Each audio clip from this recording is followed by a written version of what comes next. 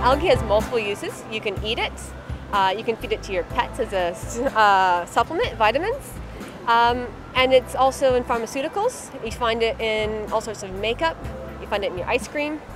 Um, and we're looking to potentially increase those number of uses. So we've got chemists working to find other extracts, maybe antioxidants, maybe anti-cancer uh, agents. Possible uses are, you know, enormous. So at the moment, fossil fuels, we know we're running out, and we know we have a limited supply. Algae uh, are a sustainable, renewable resource, and they can start to replace our liquid fossil fuels. So my name's Dr. Adam Powell. I'm a research officer at Swansea University. Swansea uh, University is the lead partner for the Energetic Algae Project, which is also known as EnAlgae for short.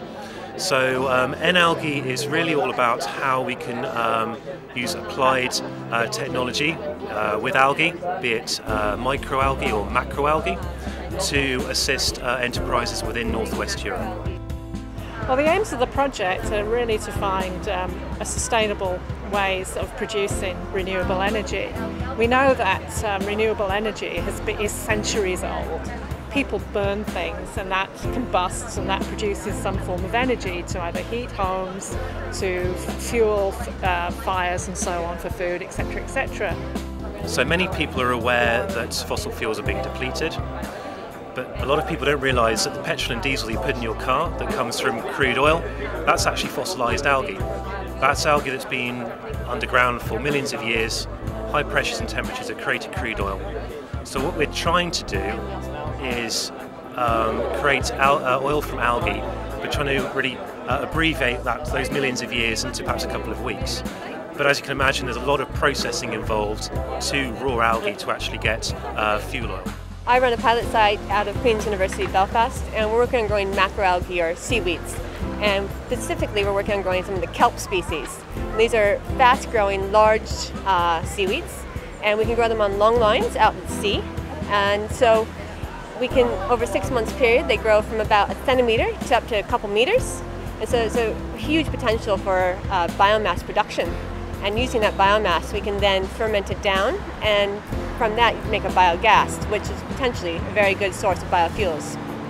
A photobioreactor is basically, a, you could say it's a fancy name for a, for a pond or, or, or, or a reactor. I mean, people are, uh, are very uh, fairly used to reactors for uh, biotechnology looking at yeasts and, and, and, and, uh, and, bacteria. So brewing really is a form of, of, of biotechnology. They use reactors uh, for brewing uh, yeasts. There's very little difference between that and a photobioreactor, but the photo gives you a clue. You need light, algae need light, so that's why it's a photobioreactor. We tend to say PBR for short. The aim to our research really is to show that we can do this on an industrial scale.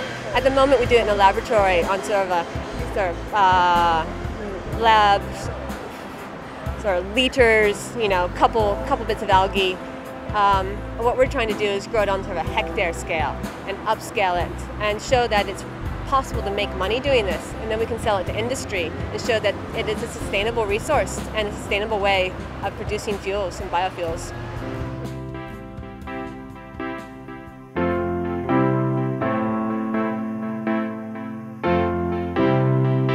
Uh, no, not surprised, but pleased that it that it's it's going on. Yeah, I, I, I would be very interested to see how it develops.